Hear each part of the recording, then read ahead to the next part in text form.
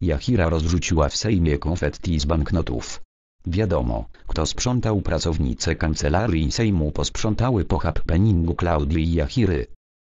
Gdy w Sejmie trwało zaprzysiężenie Adama Glapińskiego na kolejną kadencję szefa NBP, posłanka Klaudia Jachira-Ko zrzuciła z trybuny konfetti z banknotów.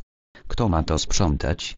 Pracownicy Sejmu, bo jaśnie pani poseł ma taką fanaberię, pytał rzecznik PiS Radosław Fogiel.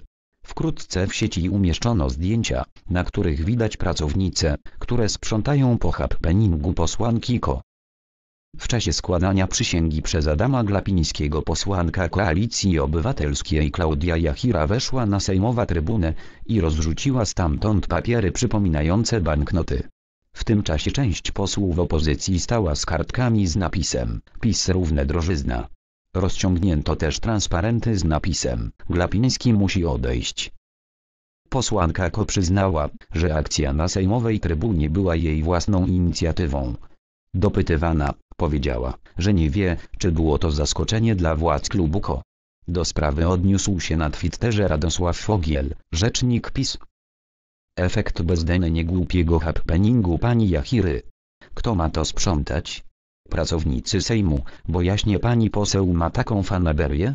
Może Borys Budka wyznaczy chętnych ze swojego klubu, pytał. Sejm, sprzątanie po happeningu Klaudii Jachiry finalnie konfetti posprzątały właśnie pracownice kancelarii Sejmu. Ich zdjęcia zamieścił dyrektor Centrum Informacyjnego Sejmu Adam Grzegżółka.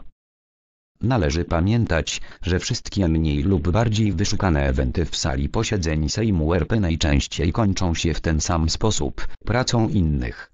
Naprawdę z niektórych form ekspresji można zrezygnować, napisał.